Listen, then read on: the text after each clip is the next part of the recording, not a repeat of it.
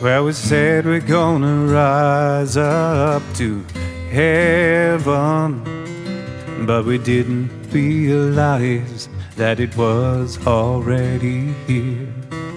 That's just an age old lie that keeps us believing in the ego's story of separation and fear. But Zion awaits, Zion awaits, Is what we believe is what we create, and Zion.